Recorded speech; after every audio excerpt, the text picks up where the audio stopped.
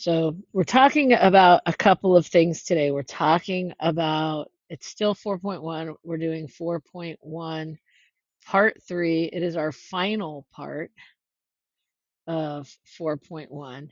And what we are talking about is two main things, which is angular, angular, ular, and linear speed. And then we are also going to be talking about the area sector of a circle. Um, and those are the main things that we are going to go over. And it's all very formulaic, um, which means that there's formulas, right, for each of these pieces. It's just understanding how to make those formulas work. And I think with this one, I am going to start out by giving you a couple of the formulas and how they can kind of work together.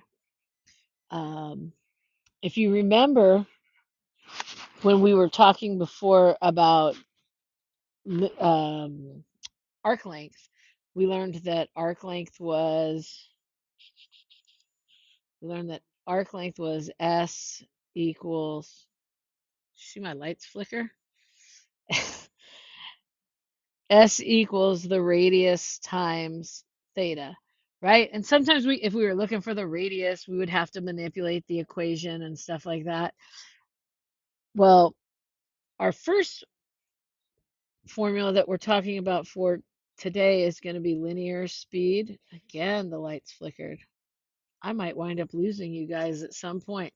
If it does happen that i lose you I at some point today or tomorrow will just make a full video lesson of this and and post it to Google Classroom for you guys to watch because with the way the lights are flickering and there's all three of us going at the same time, I might just get kicked off because of the wind. So um, everybody please turn your cameras on though. You're supposed to be on camera. Actually, you know what? I'm going to forgive that today. Don't worry about being on camera because I know the wind kind of messes with uh with speed. No worries, Annalise. It happens. Yeah, feel free to be invisible today if it helps your internet out. Um, I won't mark anyone absent for not being on camera. So linear speed is represented by the letter V in the same respect that uh, arc length was re- represented by the letter S, linear speed is represented by the letter V. And the formula for linear speed is V equals the arc length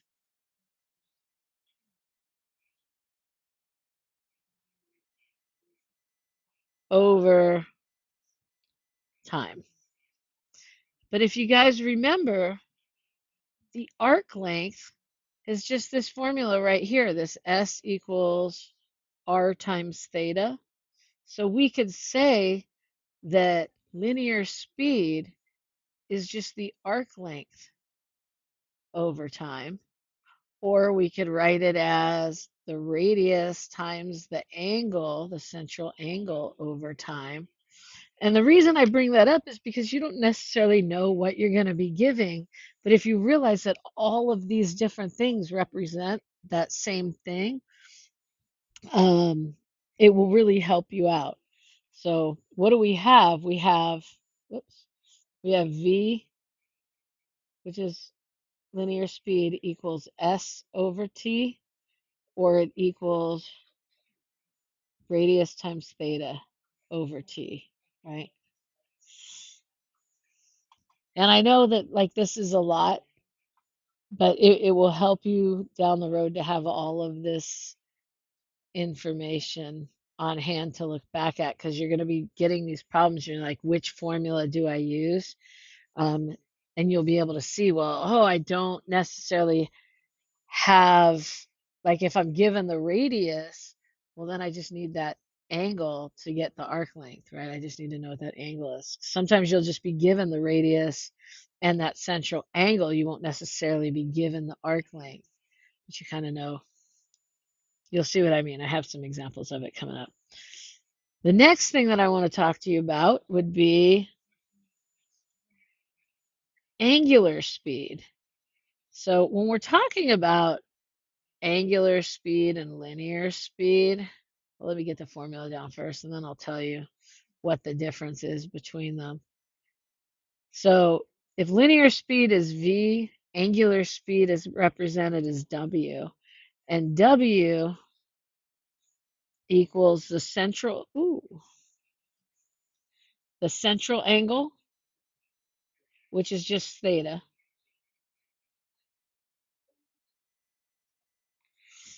right? If you remember, that's just theta over time. So really, W equals theta over time. Now, linear is like how fast a particle is moving. Like we have this piece of something and how fast it's moving. It doesn't matter what it is, like just something that's moving through space, and we are measuring how fast it is going um, and it could be a straight line, it could be with an arc, right? But we're literally talking about how fast a, a thing is going.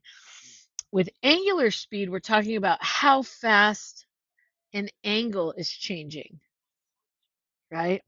So, um, windshield wipers, right? Think about windshield wipers, right? Windshield wipers start down here and then move across your windshield, right?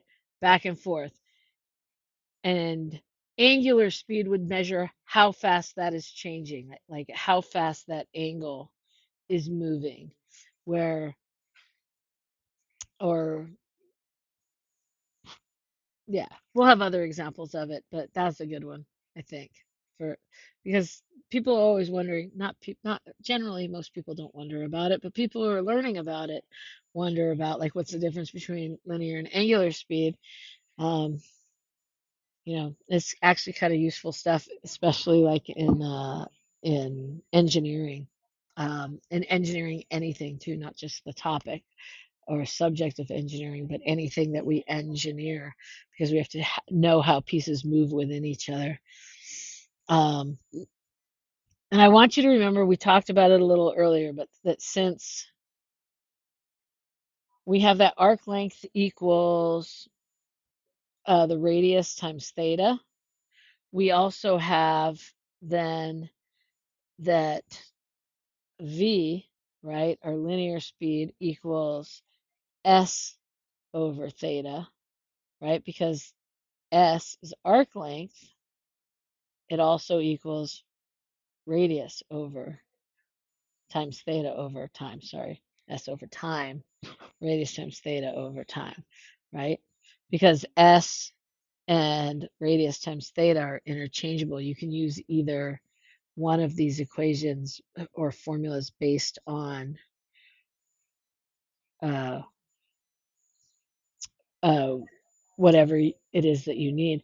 Another thing that v equals, that linear speed is equal to, is the radius times the angular speed. So if you know the angular speed and the radius, you multiply them together and you have the uh, the linear speed. Um, I just think those things help out. We know that W equals theta over T, and I just think it always helps to have all of those formulas in front of you when you're working on stuff like that. And in case you're watching the video later, I'm going to put this in. I'm just going to label each of these formulas. This is arc length, right? The these are linear speed.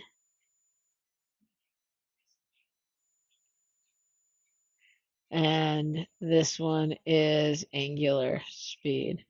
Oh, if you come by and look at it later, you've got all of them together, um, and you can see which each one's referred to. But I'm going to move into some examples now.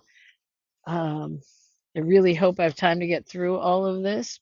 I hope, I hope, I hope, uh, because I do not want to spend another day in 4.1 because I'm so sick of this section. I'm ready to move on to the next section. Um, So when we're talking about finding linear speed, which is a lot of what we're going to be doing, is we're going to find linear speed and then we're going to find angular speed as well. So in finding linear speed,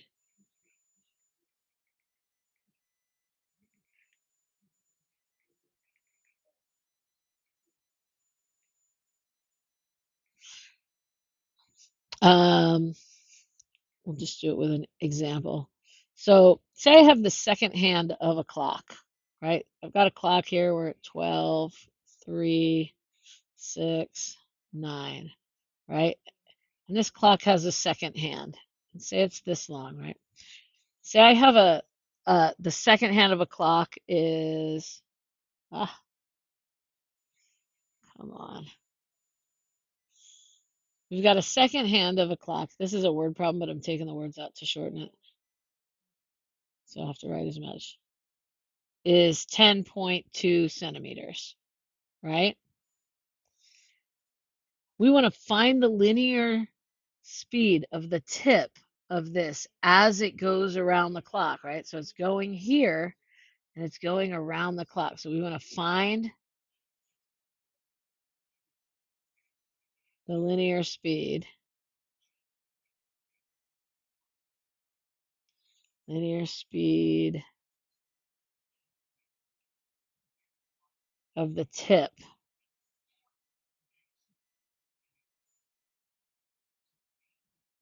Of the second hand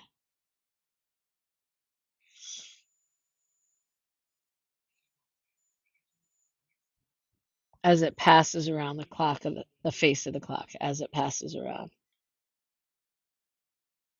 So, what in radians is a circle? Like all the way around. If I was going to go all the way around a circle, what would I have in radians? Do you guys remember?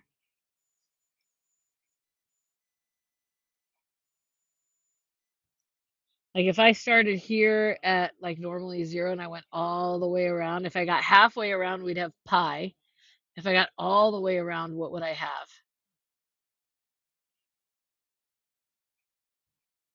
Like, you know, it's 360 degrees. What is it in?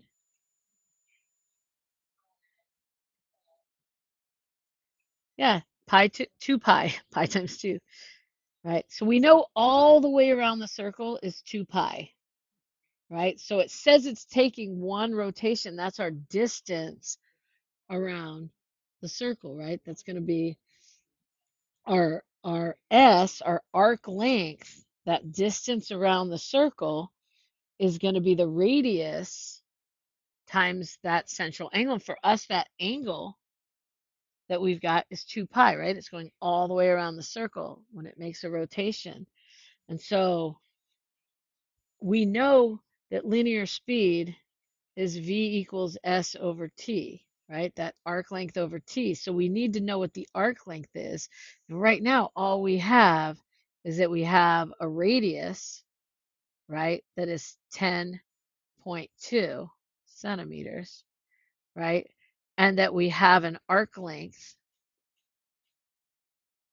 that is, I mean, sorry, we, we have a theta that is 2 pi, right? Our angle is 2 pi, right? Goes all the way around the circle. So we need to find S so we can start solving this, right? S is just R times theta. And we have R and we have theta. So it's 2 pi times 10.2. And when I do that, 2, that would be 20.4 pi, right? 2 times 10.2 is 20.4, and we'll just leave the pi as pi, because who doesn't like pi? And this is centimeters. Now, the other thing that we know is that the time that it takes to go around the circle is one minute, right? Because it's a second hand, right? The second hand goes all the way around the clock in 60 seconds, right? One minute. So in this case, the time for that rotation is one minute, but we need it in seconds, which so that would be 60 seconds. So we have all the pieces now that we need. We know what S is and we know what T is. So when we go to solve this formula, our V, our linear speed, come on, our linear speed, this V equals S over T. Well, we're just going to use our S, which we know is 20.4 pi centimeters, over time, which is 60 seconds. And we're going to just plug that into a calculator, right? And we are going to get approximately, I should make these like wavy equals because it's not exact, right?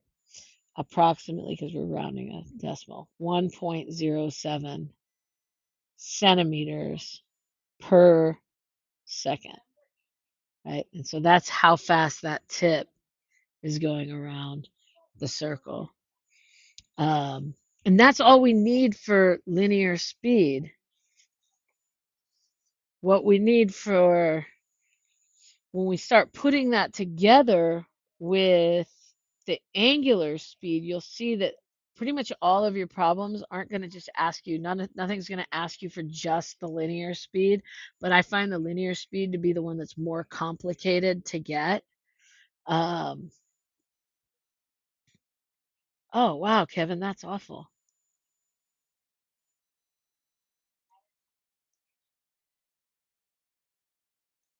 I'm glad it wasn't like into the house. In most of your problems, you won't be asked to find your linear speed. You'll be asked to find the linear, the angular and linear speeds.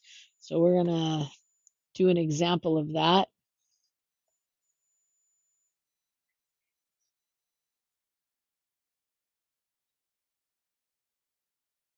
And see if I slow down, I can write really nice on this, but then I have to go slow. Change the color so we can see that we're working on something different now. Our example is going to ask us, it's going to tell us the blades of a wind turbine. Does anyone know what a wind turbine is? What it looks like?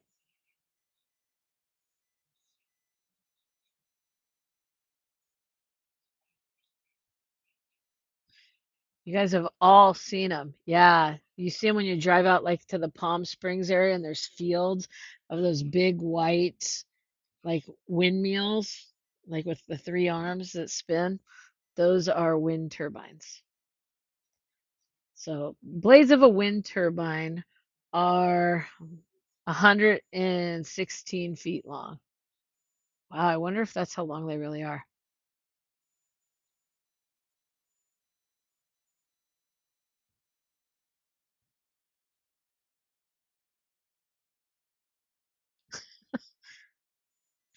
Um, the propeller rotates at 15 revolutions per minute. So color rotates. At ooh,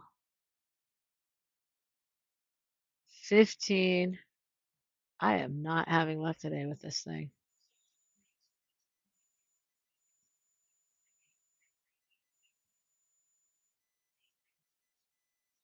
Per minute. So think about that. The last time when we did the clock, we just wanted it once. How long does it take to get once around? Now we're saying that in one minute, it goes around 15 times, right? Um, A, we want to find the angular speed.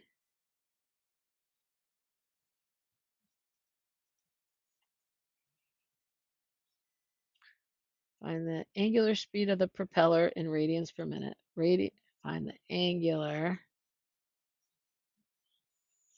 speed of propeller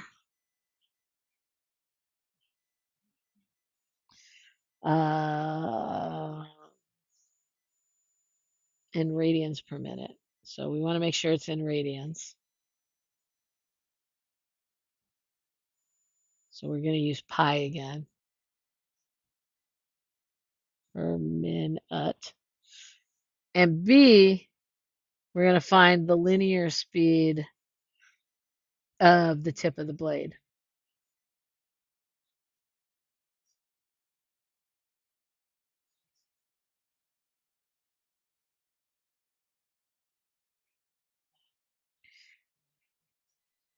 So here we go. You ready? We're going to start with point part A because that makes sense, right?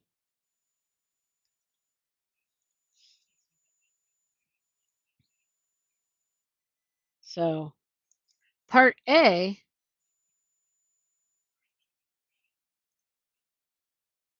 says that we've got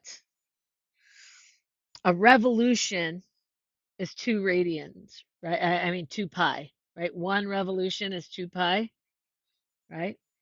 Dang it. So one revolution is two pi, but we have 15 revolutions, right? Says that it revolves 15 revolutions per minute. So in one minute's time, which is our measurement, we know that it's going to go 15 times. So if we think about that, our our W, our angular speed, right?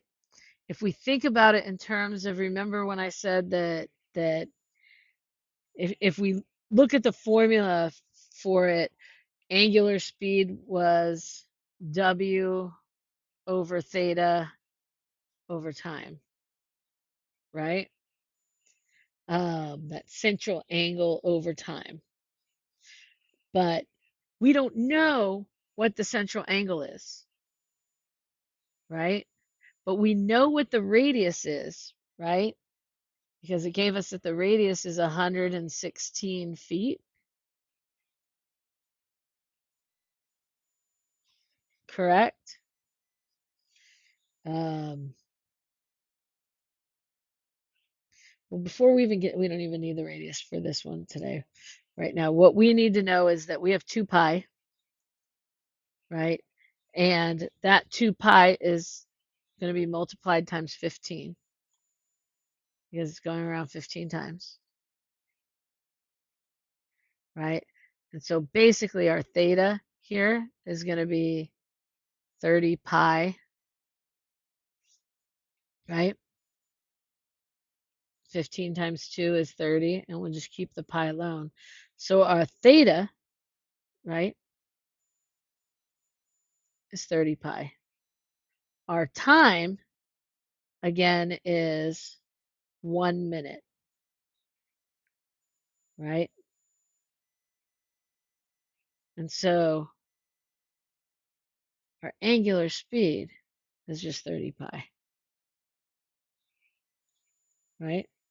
So this first part didn't even matter what our radius was yet. We don't care about that till we get to the linear speed because we were able to find it. We knew that it's 2 pi around. We know that it goes 15 times around in that minute. That's all we need to know because that's what we're looking for, right? That change in angle over the course of a minute. So the math on that's really easy because it's just one minute. We don't have to really divide by anything. Um, our linear speed, though, our part B says find the linear speed of the tip of the blade, right? And so for part B, er, so this was our part A. Down here, we're going to do our part B. And our linear speed we know is V equals arc length over time, right? And if you remember, our arc length is radius times theta. And those are two pieces of information that we have, right? If you think about it, our radius we were given, it was a r equals 116 feet, right? Our theta we just found, our theta is 30 pi, right? And then our time, again, is still just one minute. And so what we're left with here is 116 times 30 pi over one minute, right? This is radians or feet. Feet? This, this would be feet, right? Because we're measuring distance now. Feet over one minute, right? And so really it's just 116 times 30 pi. Luckily, I actually already have the answer to this on a card, so I don't have to go find it. That's going to be 10,933 feet per minute. That's pretty dang fast.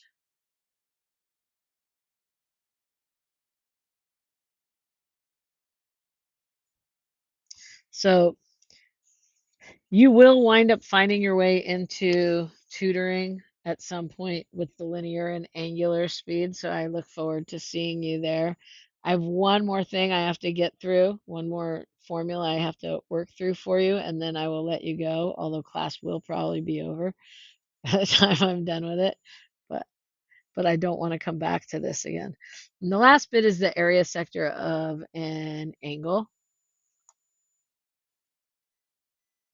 So the area sector of an angle. I think this one is pretty easy though, so we should get through it pretty quickly. So think about this. If I have a circle, and then I have this angle within the circle that's mapped out, the area sector is just the area of this piece of the angle or whatever central angle is. Like if the, the central angle is in here, it's this one. If the central angle was on the outside, it would be the area of that piece. Um,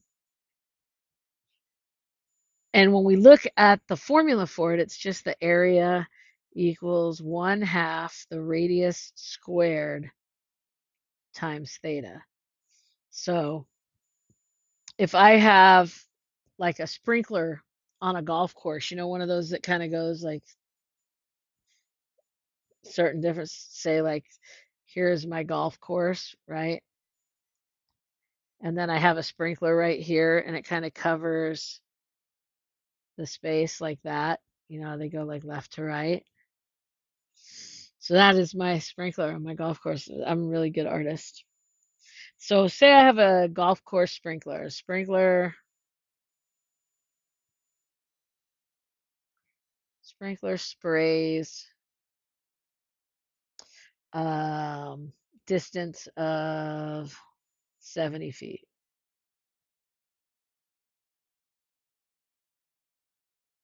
Right? So this length right here would be 70 feet, right? And it would keep being 70 feet as it moved around, right? Think of it as like that second hand on a clock, right? It's always going to go the same distance, just how the angle is changing. Um, and it rotates through an angle of 120 degrees. So this theta here would be 120 degrees, right? So we're saying theta rotates 120 degrees. So theta equals 120 degrees.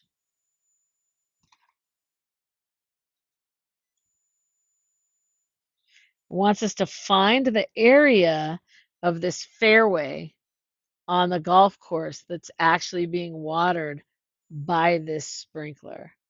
So here's the big thing with this must be measured in radians, must be measured in radians. Probably the hardest part of this problem, right? Because we got to convert our 120 degrees to radians, which remember we just multiply 120 times pi over 180, right? And this becomes 120. I didn't know I could do that. 120 pi over 180, and we reduce the fraction, and we would get each of them is divisible by 60. That would be 2 pi over 3 radians, right? And what are we looking for? We are looking for the area. So we want to find the area sector of this circle. And so now we need to look into our formula. What we know now is that our theta wants to move around on me. Our,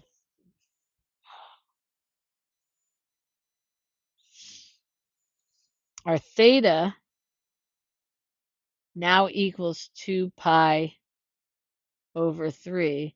We know that our radius equals 70 feet.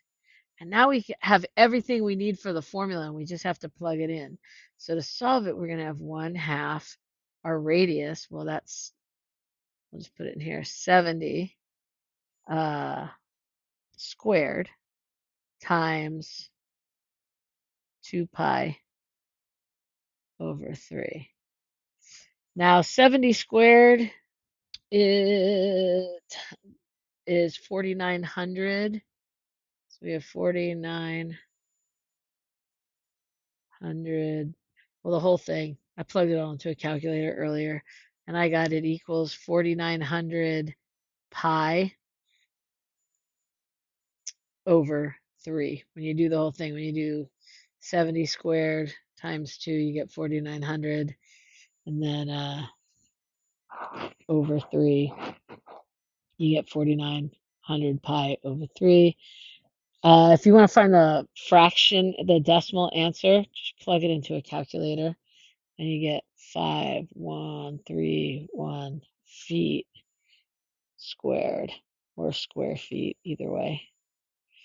Um, it's not a difficult equation. It's the biggest thing is you have to remember that you're going to be given degrees. Don't forget to convert them into radians. Um, and have your formulas in front of you when you're doing it. Highly recommend just have like a little card with all the formulas written down because it's so much easier for you to do when you have all of the formulas there and you're not having to go back through your notes to find them to like have like a little formula card uh, right in front of you. Um, that's it. I know it was really long but we had a lot to get through. Uh, uh, but that's pretty much it